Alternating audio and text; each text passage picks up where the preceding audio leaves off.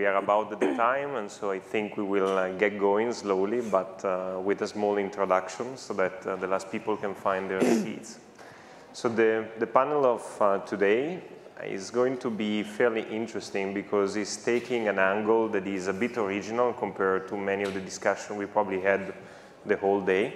We're going to look at um, let's say, a therapeutic area or a general indication that is unusual for what has been the focus of cell and gene technologies up to date.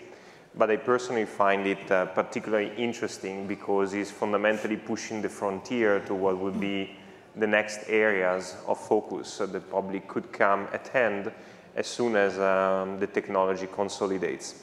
So we will look at the and discuss about the advancements of cell therapy for autoimmune diseases. We always think when uh, we think about uh, cell and gene technologies about oncology, we always think about rare diseases.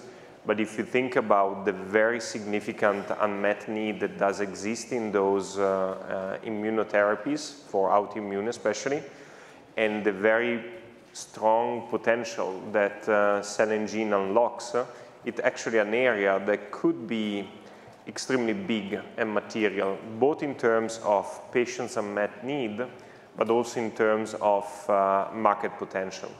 So as the overall industry and the therapies approaches and progress in aspects of uh, safety, the efficacy of this approach can be really transformational in solving significant unmet needs like uh, related to lupus or other very bad diseases that are consuming the life of many patients. And so this will be the topic of today's panel. I'm very happy to have uh, the speakers that we have on the stage, but I would prefer to let them introduce themselves than me attempting anything close to a proper presentation. So please, why don't uh, you introduce yourselves? Should we start? Sure. Th thank you, Alberto. I'm Tracy Lodi. So I'm the CSO of um, Quell Therapeutics. Um, do, you, do you want us to introduce the company first too? Yeah, Yourself sure. probably, the company. Probably, probably be helpful. Um, Quell Therapeutics, um, some of you may or may not have heard of us. We're based in London. I myself personally uh, based in Boston. I've been told that it's obvious that I'm based in Boston, but, uh, but the company is based in, um, in London, so fly over there uh, frequently. And we are developing um, next-gen therapies for CAR T-regs. So it's um, a regulatory cell that really in most cases is dysregulated in patients that have autoimmune disease.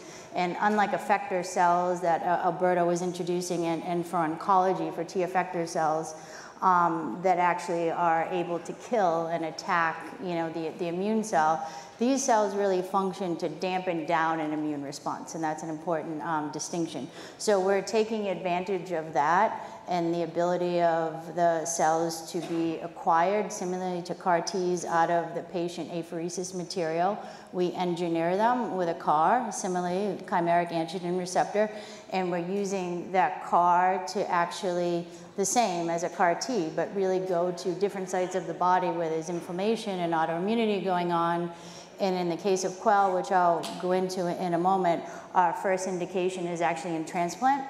So we're looking to deliver the cells with a CAR that will specifically home um, the cells to the liver um, by virtue of an HLA mismatch in which the patients will have gotten an A2 donor liver graft, be A2 negative. We then take their cells, engineer them with an A2 CAR. So we put them in, the only place in the body where those cells will see A2 is in the liver. And the hope is that the cells will go there and provide a localized immune tolerance and immune suppression. And then we slowly wean these patients off immunosuppression and hopefully get to immune tolerance.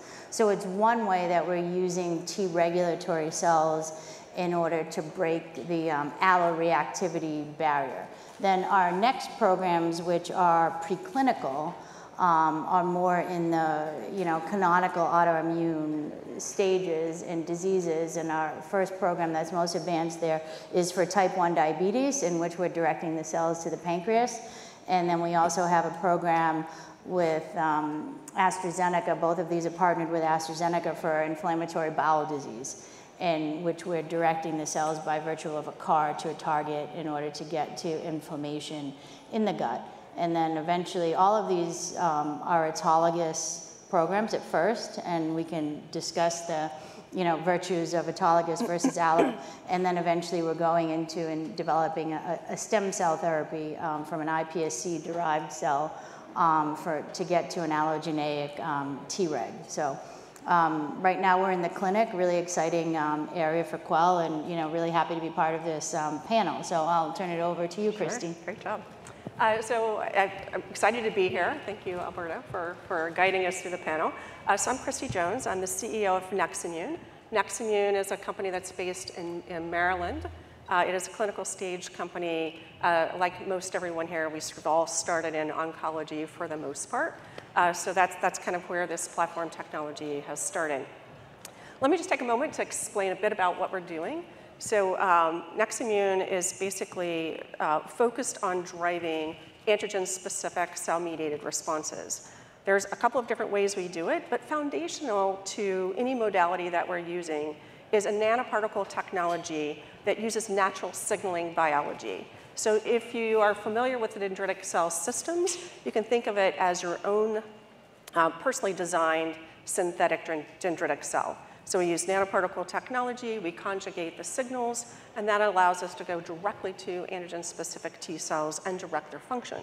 So in the case of oncology, which is where we started, this is about going in, engaging these specific antigen T cells, and then expanding those T cells in multiple populations that can go in and obviously uh, uh, kill cancer cells.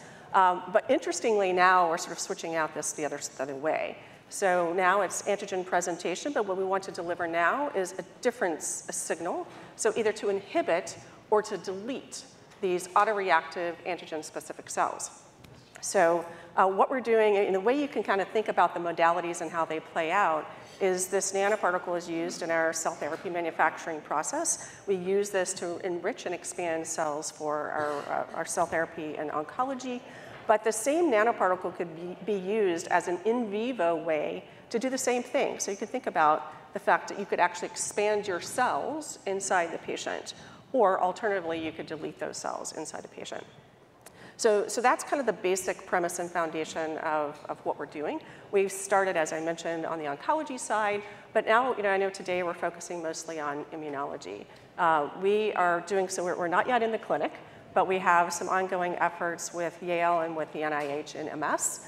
Also, HAM-TSP, which is a uh, myelopathy that is caused by an autoimmune reaction. Also in type 1 diabetes, uh, so we've got a number of programs kind of moving along quickly. What I find quite interesting is really be able to reach out into experts in the field to bring them in to help develop these sort of novel approaches, whether it's a cell therapy approach or whether we are using kind of the injectable format. And then lastly, uh, from a cell therapy side, we've, we've looked at and started to develop ways to drive T regulatory responses. All that to be said, is it's important to line up, as we talk about autoimmune diseases, important to line up the biology of what's happening in a particular disease area of interest, and then with that, choose the ideal kind of therapeutic modality. I think what's been really exciting for us is this sort of transition from a lot of targets are really well, well known, well described in oncology, and it's building so quickly in autoimmune diseases. That is really going to unlock so much potential to go into so many diseases uh, like celiac, RA, lupus, you know, and, and you know, I think as Alberta mentioned, you know, 24 million patients in, across 80 diseases are sort of suffering from, from, uh, from this kind of disability damage progressive disorder that, that still results ultimately in, in, death for, for patients. So really excited to be here. Well, Christy, Tracy, thank you. I'm humbled. Kind of just listening the introduction, I could say that I have a lot to learn on the science and on the mm-hmm. biology here, and so we'll take advantage of that. But building on the concept, if you think about what, for instance, Humira has been in the market as a drug and as a potential, it's not unlikely to see that once we establish a cell and gene technology as a firm modality, that is just going to be the natu natural next frontier about what we will be doing. So let's play a game, contrast and compare. so if we contrast and compare immunology and oncology in CGT, how, would this look like? What are the things that comes uh, to your mind? Maybe let's start from your side and then we evolve uh, toward this side. Sure, sure. And, and, and, I think it's a great place to start. Um, I, I, had the privilege of being at a, a small cell therapy um, last month, also in, in California, and um, brought together all of the oncology CAR T companies and, and give their experience real from as you mentioned, Christy, like target identification on cancer through manufacturing and then into the clinic. And I think now when we come either with a different cell modality or even taking those cell modality and trying to really stand on the shoulders of everything that they've learned in terms of manufacturing, in terms of getting the cells from the patient, the delivery, and um, the, the dosing and really the safety. And I think the, the first thing that comes to mind um, when you're talking about autoimmunity, and depending on which disease you're talking about, the patient population is very different. Um, it's still an autologous therapy, so we really thought very hard as to, you know, how can we go in and get proof of concept, both safety and efficacy, and then in a stepwise fashion go into more and more risky, I guess, for lack of a better term, indication in which patients could be younger. Patients have chronic diseases, and you have to think about treating them for their entire life. Because when you consider a type 1 diabetic, most of these patients exhibit the disease um, when they're juveniles. And, and they're really dealing with this for their entire life. And of course, you mentioned there's Humira for IBD and some of these, but it, and there's insulin for type 1 diabetic patients. And, and recently, um, after about 25 years in, in, in, development, I worked on a little bit of this. Um, finally, we have a monoclonal antibody, anti-CD3, teplizumab, which has been approved for the pre-diabetic stage to prevent that. But really, there's nothing out there to be disease modifying when these children become diabetic. So that's basically they're on insulin for lifelong and they're not doing anything to stop that pathology. So all of the drugs that are there are really just treating the, the symptoms. They're not halting the disease. And so when we think of cell therapies, we're hoping that we can have a disease modifying approach. And the one difference is that we really need to be safer. They are children or they are other older patients, then potentially they will need chronic delivery, right? So safety is a big thing. And, you know, we're probably one of only two companies that have actually treated a patient with an engineered um, Treg. So we thought to ourselves, what is the best indication in which we can go into and ask some very key questions? What is it going to do to alloreactivity, which is why we went into transplant? Can we actually have access to that tissue?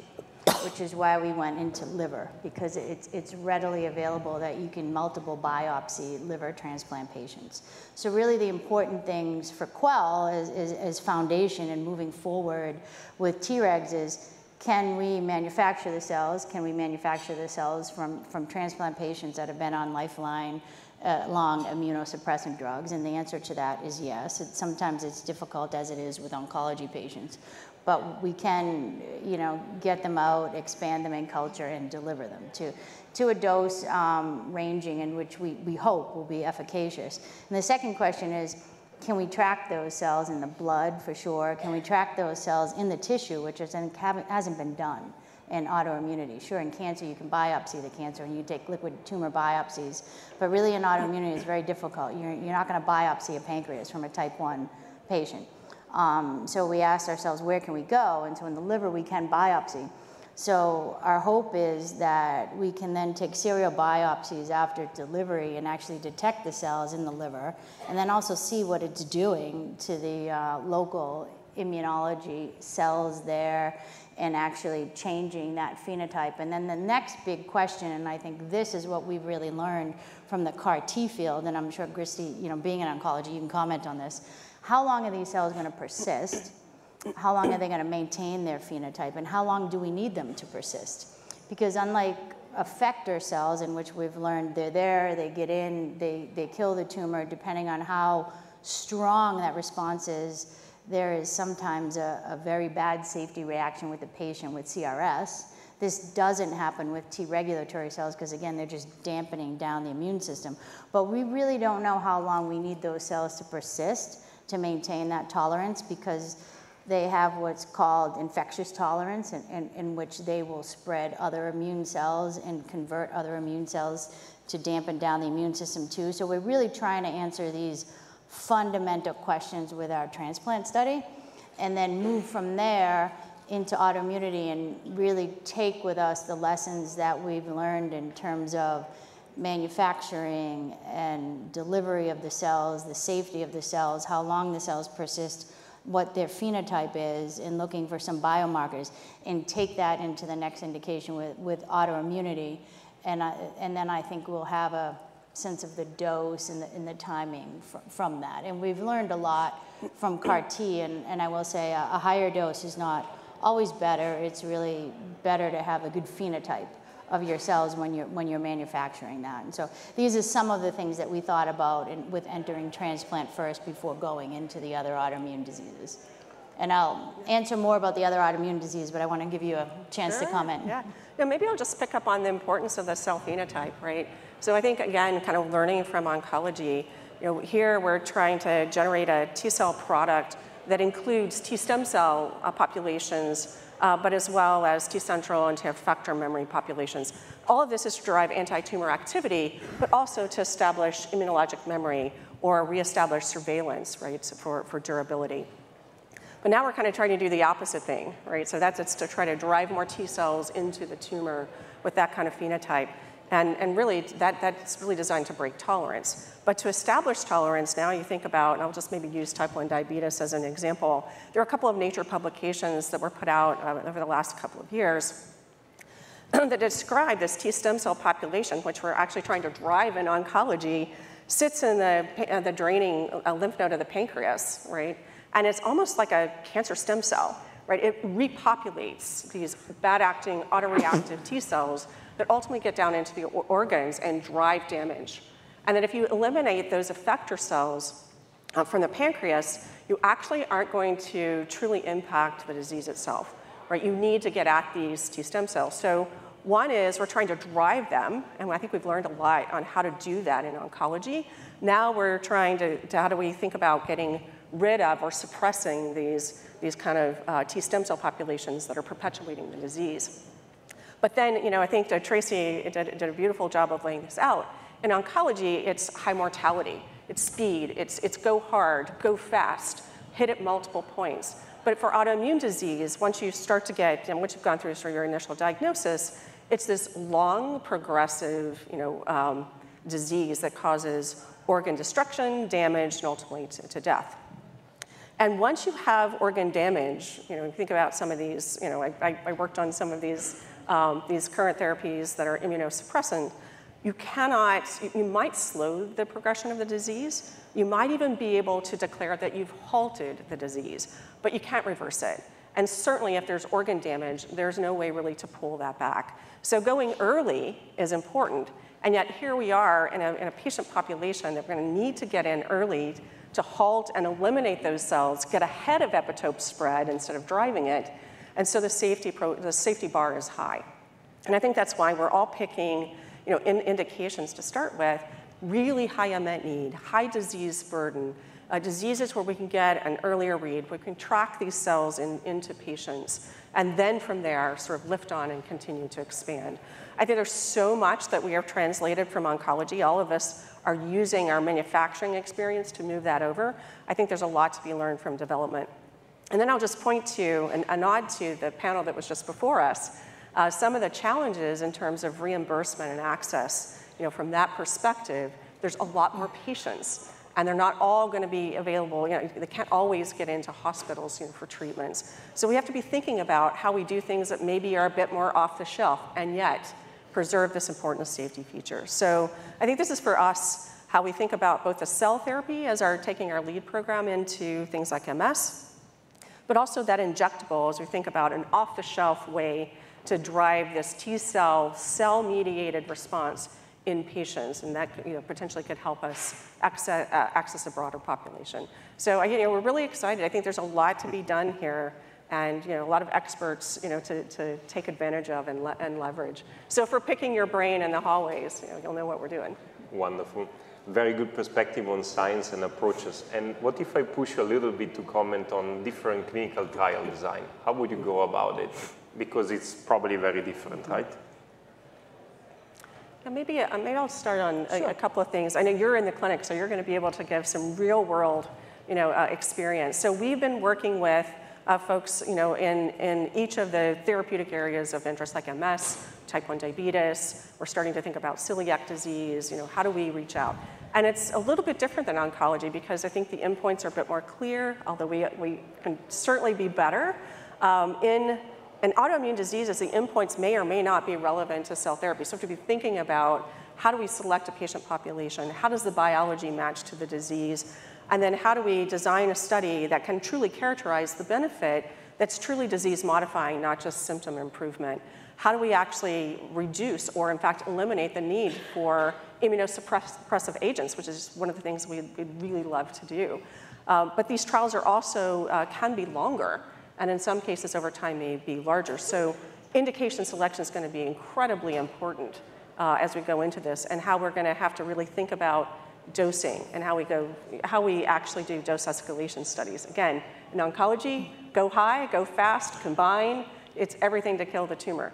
But in this case, it's a much more staged I'm sorry, staged methodical approach, but doesn't mean we can't move quickly. And certainly there's opportunity for breakthrough and breakthrough treatments, breakthrough designations in the autoimmune space. So I think there's a lot of opportunity for us. But. Yeah, great. And um, I'll, I'll, just pick up on, on, on one aspect of the, of the patients and how we were thinking about it in terms of transplant. And as you said exactly, for oncology, it's all about speed and can we get the cells and manufacture the cells and get it back to the patient so they're still stable and the disease hasn't progressed to a point where it's life-threatening and, and, they can no longer be treated. In the transplant situation in which we designed the trial, um, there's two distinct differences. That's, that's not the case. We, we actually, in particular, picked stable patients. So these liver transplant patients are one to five years post their transplant. So they're already pretty stable. They're not in, in, the point where the immune system is all jacked up and they've just received their transplant and their heavy doses of med. So they're on a stable transplant. And um, so that being said, we have time to manufacture the cell. The patient is on their immunosuppressive therapy. So when we take their apheresis product and manufacture it, we have time from vein, vein to vein, you know, four to six weeks to you know, to get the cells, engineer the cells, manufacture the cells, do the QC and the release, because we can time the patients as to when we withdraw their immunosuppression and then deliver. So this is a luxury that we have that is not necessarily the case, is not the case in oncology, for one. But moving into autoimmunity, um, maybe necessarily also not being the case that we'll have this luxury of time. So we're taking what we learn now from the liver transplant patients and how we see the cells expand and doing some process improvements to our cells to get a better, purer population, concede smaller amount of cells to get to a good cell dose, taking all these learnings and going into autoimmunity, because obviously, as you pointed out, Christy, you want to treat that patient as early as possible before the antigen has spread before, in the case of type 1 diabetes, before all of the beta cells are destroyed. Because if you know, we're just treating the immune aspect of it. We're not doing anything to regenerate the pancreas and regenerating destroyed islets there. So if they're already destroyed, as you just pointed out, that we, we can't regenerate that, at least not with an immune cell therapy. So the goal is then to go in as early as possible. So we need to have our manufacturing down and learn from our dose and have a pretty good idea of the safety and where we want to intervene um, in type 1. And right now, there's really not great biomarkers, right? We, we will intervene here in which patients have a residual amount of C-peptide, which means they have some beta cells left. There are so, so many you know, month, weeks to months post-diagnosis and they're not going under, you know, unstable hypo and hyperglycemic events. But arguably the regulators, and we can talk about that later, will make us go in because it's a new modality and it's juvenile, will go into a higher age population for safety. which may or may not, you know, really be translatable to a really early aggressive part of the disease. What we'll see. That's probably what will happen. But we're looking just to learn from the manufacturing and then see that we can do as quick as possible, as safely as possible to get into it early and possible to intervene in other autoimmune areas. So Tracy, can we say that um, using CAR T to kill all the B cell is the magic reset button or? So that's a great question. Um, and it's, it's, another learning for the autoimmune um, space is, is, most in the audience, if you're not aware, a lot of the CAR Ts now to CD19 are being used to treat um, autoimmunity. And there's been success actually in lupus, pemphigus, some scleroderma, and you know, a handful of academic studies and, and some companies going in, in, in this area. And um, and it's and it's amazing, you know, the remission that at least the lupus patients have mm -hmm. gone into here. But what I like in this too is taking a sledgehammer and effect and wiping out all of your B cells. So then, therefore, there's no more autoimmunity, and, and remission has lasted like out to a year in some of these patients. So, which is fantastic. There really hasn't been any safety issues to seen uh, as of date but it remains to be seen what will happen to these patients you know, over the course of the coming years when they need to respond to antigens and infection and flu and COVID, and you need to mount an antibody response, right? so, so the, you do need to mount, be able to mount an antibody response to fight off infection. So this is the downside of treating with a CD19 CAR T for autoimmunity. On the flip side, if you take a Treg, and even if you use a, a CD19 Treg, which hasn't been done only um, preclinically to show that it prevents you know, GVHD, so the data is out there that you can have an effect on B cell related um, mechanisms, you potentially won't be killing the cell and you won't be hitting it with that sledgehammer. So again, you know, we hope to take the learnings of taking the CAR Ts and then take a more targeted, safer approach to target that B cell because clinically it's efficacious, right? And then to do something um, more, more targeted. I would just maybe add to that, you know, from the, if you think about, I think B cells play such an important role. That's pretty well understood.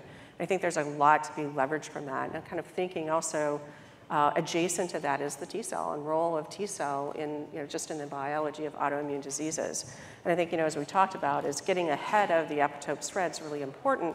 But with that said, even these early patients, whether it's type 1 diabetes or other autoimmune diseases, may in fact, in fact, will have more than one target, uh, one antigen that's driving that autoreactive sort of autoimmunity, you know, effect. And so the ability to go after multiple targets simultaneously, just like we do in, in the oncology space, can also play a role in addressing, you know, getting at all of these targets early.